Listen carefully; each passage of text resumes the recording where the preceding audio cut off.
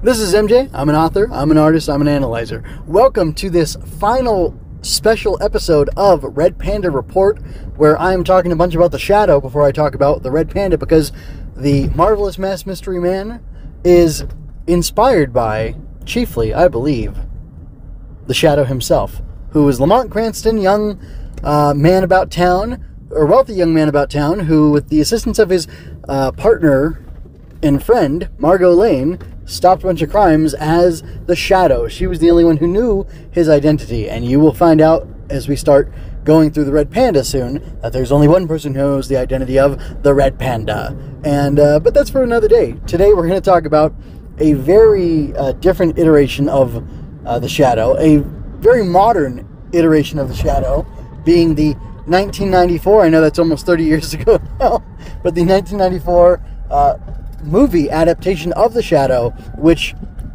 does an interesting blend of the novels and the radio shows to build its own unique shadow mythos. Uh, I read a very interesting review of this from a major shadow fan, which I think I should put in the show notes. Uh, that uh, this was supposed to be the start of you know the uh, the Shadow cinematic universe, and uh, which it's not actually the very first Shadow movie. And there was Shadow on TV, but I don't know if those were made for TV movies or you know TV specials. What do they call those? Miniseries or anything like that. Uh, so anyway, this is. I'm not saying it's the unique film, but it's the only film I'm watching and talking about. So uh, here we are, folks. Let's go ahead and uh, let's go ahead and do this. So uh, I didn't actually take the time to make notes. The only thing I want to take special note of is uh, I remember the shadow. I don't know if I've talked about this yet. I remember the shadow because down in my area of Southern California, there was an AD plumbing company. And there was a little old man, bald, with probably bespectacled as well, who I imagine is old enough that he heard the Shadow episodes brought to you by Blue Coal. Call your Blue Coal dealer. And he liked it as a kid, and then when he became a businessman, he said, Hey, I'm going to do TV and radio commercials for my plumbing business that's named after me. So it would go something along the lines of, Who knows what darkness lurks in the heart of your plumbing? 80 do. And not only did I hear that ridiculously uh, played on the radio, but my grandfather, who was a uh, a small business owner and a uh, AM radio advocate or, or uh, avid listener, at least to some select programs that we don't need to discuss right now, uh, he heard that commercial and he would do it and he would make fun of it and you know mock it or repeat it or whatever. And it's it's less making fun and mocking. It's just it's funny. A D do. And I don't remember if he told me because I said, Grandpa, what's this? Uh, and he said, Oh, it's the shadow. It was this old thing. It said, Who knows who you know what evil lurks in the hearts of men, the shadow does, but instead it's AD do because this guy's advertising for his business. But anyway, uh, it's just it's funny because the commer- the the commercial aspect of the shadow is something that I find delightful and it really tickles me. The blue coal ads are funny. Uh, in like while I'm waiting impatiently for myself to do this review, I've been listening to the uh, the original uh, Goofy universe of the Red Panda Adventures, or the Red Panda, which there's six episodes of those, which again you can find at DecoderRingTheatre.com. Um, uh, and uh, those are just funny, and they have stuff like uh, you know nutrient flakes that are being advertised in the show, and they have ad reads that are going, and like the narrator gets whacked by somebody because he's reading the narration for the he's reading the ad the ad copy during the show, and you know they want the the you know the characters in the show. It's it's making fun of itself and the genre, or not the genre, but like the medium.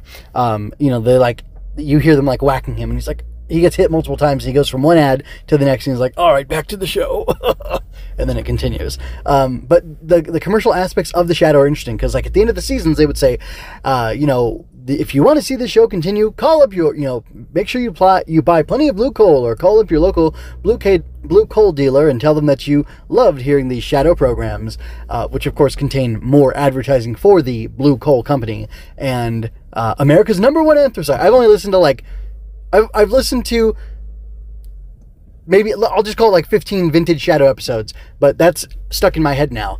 It, our uh, our anthracite is colored blue at the factory uh, in a very safe way so that you can identify our coal by sight. It's the cleanest and the best well burning, and this coal was engineered specifically. Or no, the heaters and stoves were engineered specifically to burn well with this coal. It's just, it's unbelievable how blatant and, and open and unabashed they were with the marketing of these things. But honestly, uh, you know, it's funny because uh, a uh, hundred years later, almost a hundred years later, that's what marketing is now.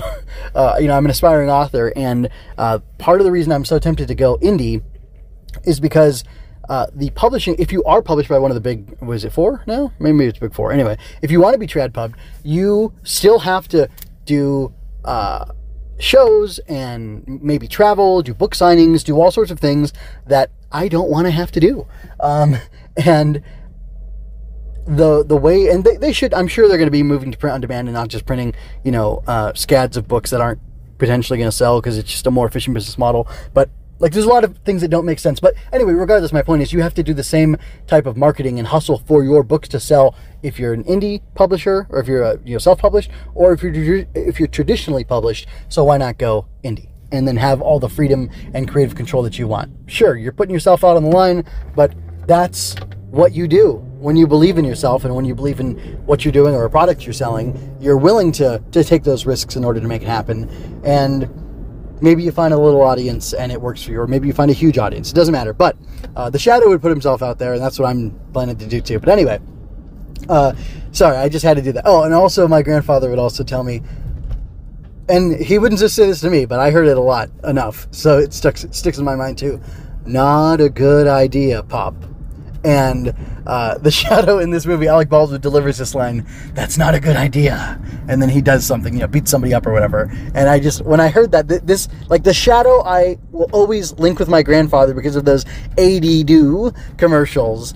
And uh, I believe he actually took us to go see this in the theater, and he wasn't like a massive. He he was a very he was a fun guy and the things that he jammed to more were like music. He had records and stuff that he would play, and he really liked certain people. But as far as movies, he'd go see like the big blockbusters and the spectacles. And I think this was supposed to be that in '94, and it it, it wasn't. It you know it kind of flopped. Um, but uh, another one of his favorite things to say was ridiculous, and I'm sure more than once he yelled or proclaimed ridiculous while we were watching this movie.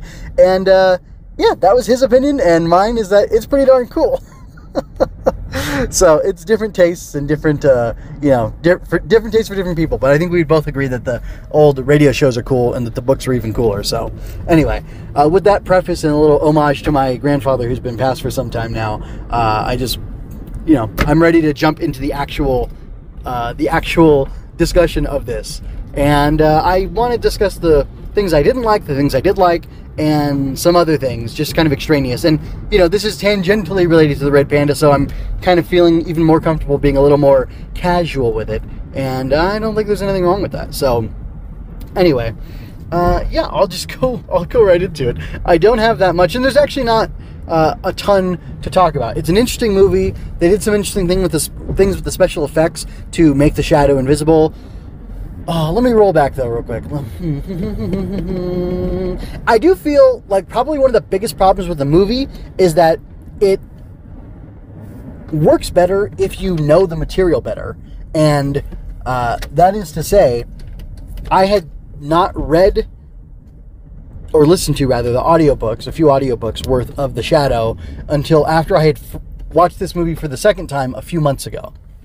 So again, I saw it almost 30 years ago, and then I saw it like four or five months ago, and then I just because I was playing around with doing this this whole Red Panda report thing at the time, and then I just finally decided to go ahead and do it. So now we're doing it, and uh, I in the meantime I listened to a couple shadow novels because I, I do want to pull in that pulp. Uh, pulpy goodness and put it in my stuff, my, my, own writing. And I thought, well, I should listen to this good, you know, solid source material. Taylor liked it. You know, lots of other people have liked Shadow. This is like classic. There are 300 books for a reason, you know. Uh, and anyway, so I decided to check those out. And then when I came back to this movie after that, I thought, oh, there's that, there's that, there's that. There's all these cool things that if you know the lore of the Shadow, if you've been a Shadow fan, it pops and it feels like, oh, this is it's kind of like coming home. You know, it, it has an, a feeling of nostalgia. And uh, I didn't get that, you know, watching it a few months ago. But um, so that's a problem. It doesn't really maybe it's not a problem. Maybe it's actually a strength of it that it feels like it can stand on its own. It can include these elements without telling you that's from the book uh, or that's from the radio show. Because uh, Margot Lane herself is from the radio show. Uh, as far as I know, she never appears in the books.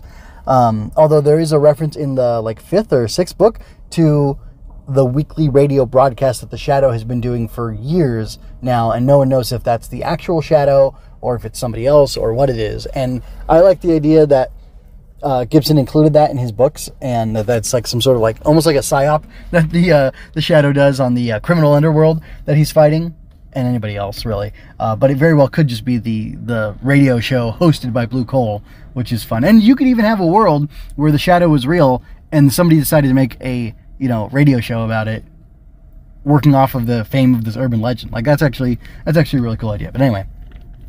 Uh, of course, if that was made today, that would end up with uh, somebody going in. I guess it'd be like the Grey Ghost episode of Batman the Animated Series, where you'd have somebody going and rescuing the, you know, the fake Shadow from you know a real threat. But anyway, uh, which actually uh, they kind of did something like that in Red Panda. Was it Red Incense? If they called that guy. Anyway, uh, I I uh, I'm getting way off track. Um, but yeah, so I felt like it was a little weak in some ways, in that it almost seemed like it depended on upon you knowing and liking the serials well, the serials or the books, which you shouldn't have to do.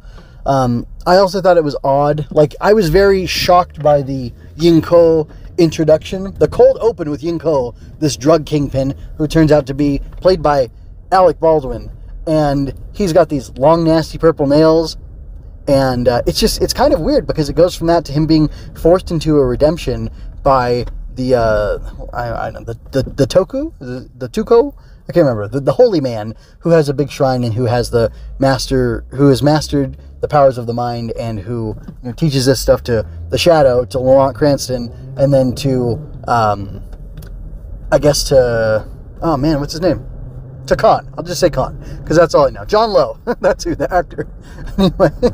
But he's made him uh, into a shadow type person as well and I don't know if it's because he was trying to reform him as a barbarian and make him a second agent of himself, which is that's actually interesting that the the Toku or the Tuco, whatever, Tuku, the Tuku, uh, that sounds right.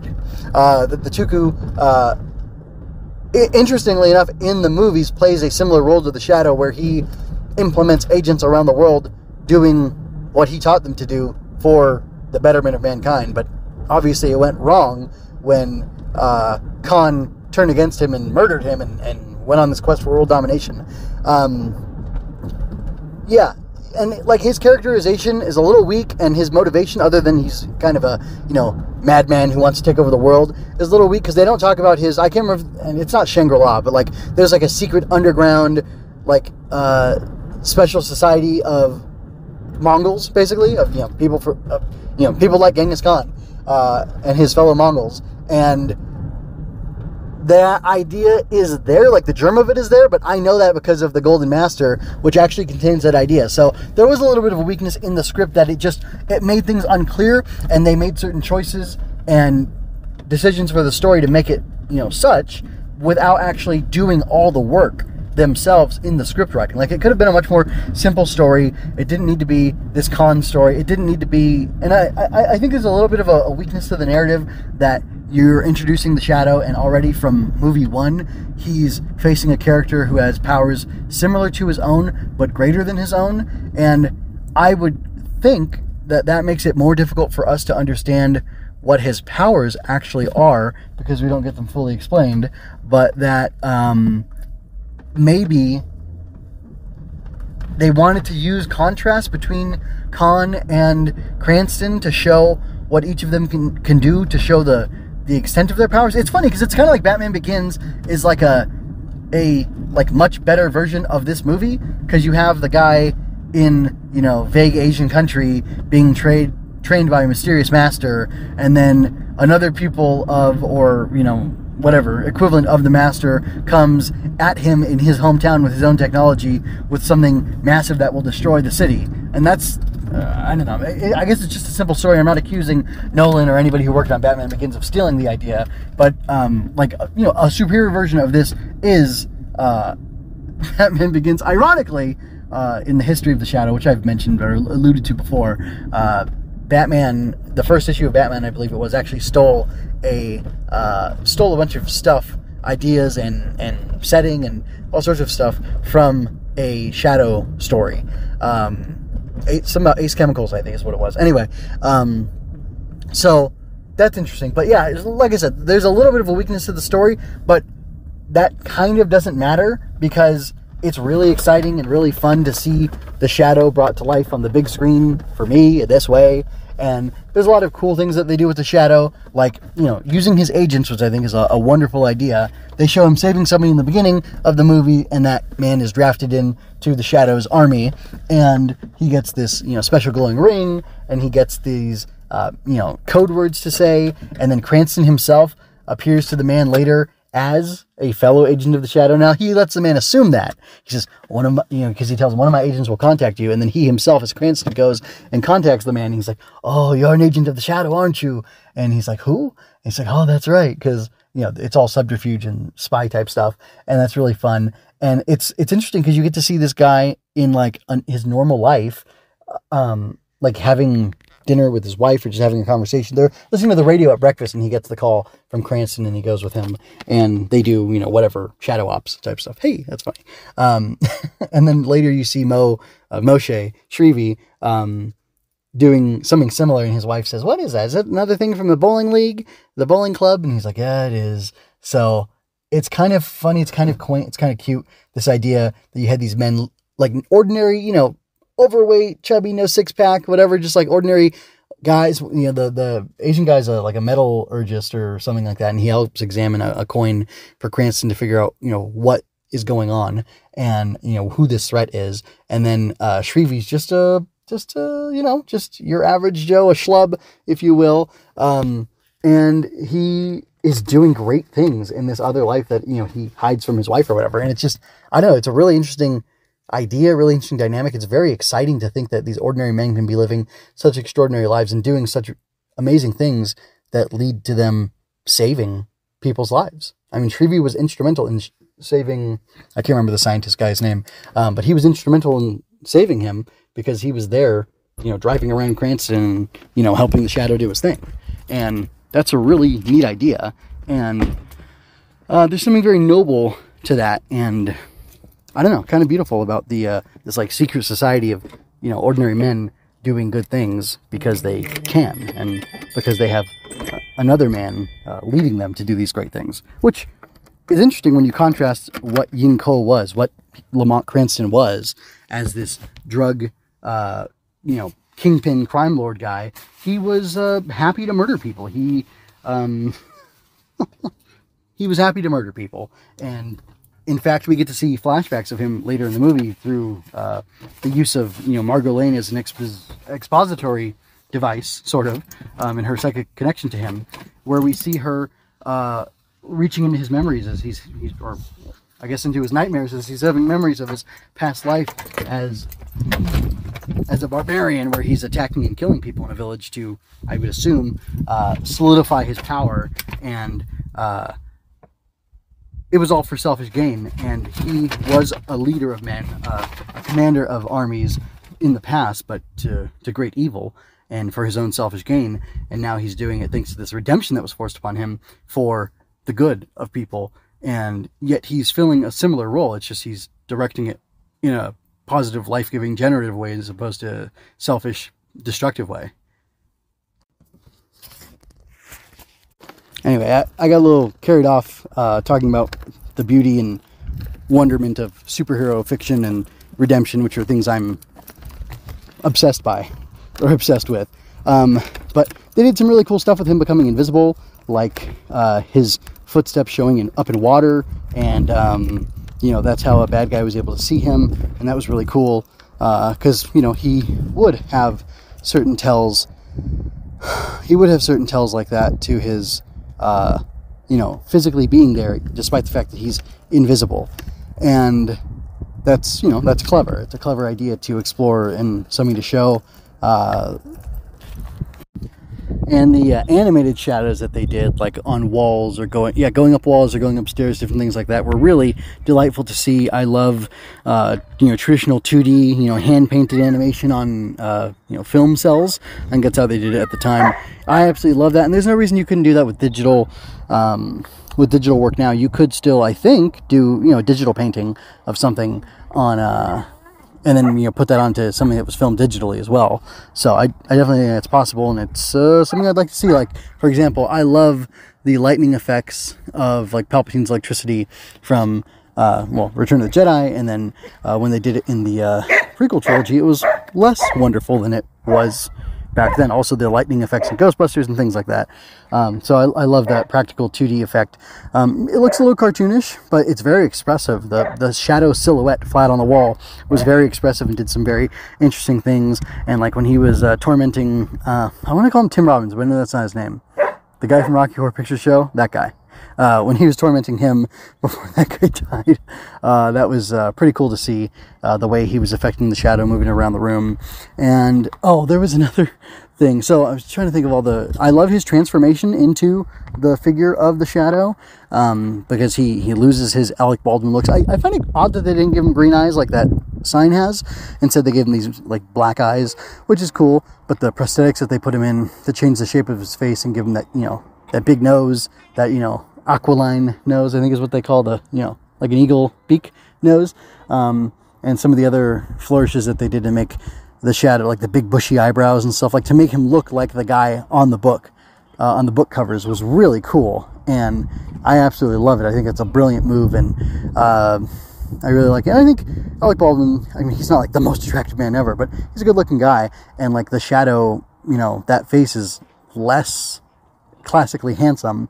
So having him transform and kind of become ugly uh, as the shadow, as he's this you know weird predatory creature of the night stalking evil, uh, is interesting because there's this line in the movie about his own dark heart, his own black heart. Like he knows what darkness lurks in the hearts of men because that lo- darkness lurks, or you know, his heart has been, had been consumed or subsumed in that darkness as well, and uh, almost like to me an idea of like the portrait of Dorian Gray where the picture becomes ugly that as he becomes the shadow like all that darkness comes to the surface and it makes him hideous. And uh, while he's hideous he is at his most monstrously powerful. Hold on and uh, that's when he's able to unleash all these powers and I, I just think that's really cool oh one more aesthetic thing I loved is when he would do a hypnotism or a mind control on somebody where they would either they would cause shadows uh, to go everywhere but his eyes, or they would just brighten his eyes. I think it was almost all, always shadows over his eyes, or shadows on either side of his eyes, you know, above and below. And that was a really great effect. Um, the only place I ever remember seeing that before was like in Addams Family when the woman would try to be alluring to her husband, or like you know mysterious shots. It's been long, it's been decades since I've seen the Addams Family movies, the live action ones. I'm talking about from the '90s. Um, Gomez and not Elvira, that's the other lady, Mistress of the Night or whatever. Um, but uh, anyway, that's an old technique from black and white films, I believe, and it was used to great effect here, and you can do it in full color, which was kind of interesting to see. So there's a lot of cool, interesting visual flourishes. Watching the pneumatic tube uh, traveling, um, like you're traveling through the through the pneumatic tube pipe uh, as that message is being uh, delivered from the Jonas building or from the B. Jonas office uh, was super cool, very delightful. Um, there was just a lot of interesting visual flourishes and a lot of interesting things going on, but just wasn't uh, wasn't quite all it could have been. There was one more thing I want to bring up from my notes, which is uh, oh yeah, gadgets. So Khan wasn't the best villain, and I already talked about that a little bit, but um, just real quick, the pneumatic mail tubes were really cool to see. Uh, the fact that he has early computers in his shadow sanctum, um, the glowing rings. I don't know if that's supposed to be technological or mystical or magical somehow, but that was you know neat. And then he's got a when Khan invades his sanctum, he uh, backs himself up to a wall. Lamont does, and he hits a like a molding so that a gun will pop out, a loaded gun, so he can try to shoot him, but he's already gone by that point. Um, let me see. I talked about his mythos. Um, Lamont Cranston. So this is about lore stuff. Lamont Cranston is the Shadow, but he wasn't always. He was a drug lord. I talked about that already. It's fun, funny that his uncle's the police commissioner. That's odd. Um, Cranston was forcibly redeemed and turned into a fighter of evil. I already talked about that. And he seems to have telepathic coercion or hypnosis power that I'm unaware from the books or the show, which is kind of interesting. But anyway, that's just rounding me out and making sure I say everything I wanted to say. But I'm going to have to cut this short for now. I went longer, much longer than I thought I was going to. And here we go. I bid you adieu. Next time, I will be talking about the riddle of the Sphinx, which is the very first episode of The Red Panda. I hope you enjoyed that. Go to mjmunoz.com to leave any questions, comments, or other feedback you might have. There you can find all of my analysis, art, and fiction. I cover books, tokusatsu, comic books, anime, and more. Look around, you're sure to find something else that you'll enjoy as well. This has been a Story Over Everything production.